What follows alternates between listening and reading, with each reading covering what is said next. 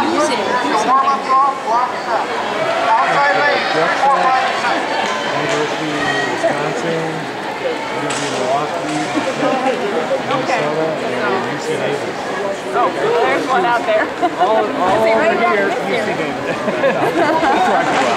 We've got all these cold weather nights in the boot, and then we Well, she's she's looking for a place that has biomechanics. And she looked at like uh, Texas